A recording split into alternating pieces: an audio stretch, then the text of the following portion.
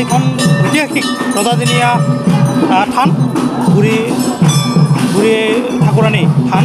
আৰু এই থানখন আচলতে বহু বছৰ ৰজাই প্ৰতিষ্ঠা কৰিছিল ৰজা বিজিতাৰায়ণ দেৱে প্ৰতিষ্ঠা কৰিছিল। আৰু এই থানখনত বিভিন্ন অঞ্চলৰ ৰাইজ ভক্তপ্ৰাণ ৰাইজে এই অঞ্চলৰ অতীজৰ পৰা ইয়াত তেওঁলোকে আশীৰ্বাদ বিচাৰি এই মাত আশীৰ্বাদ বিচাৰি আহিছে।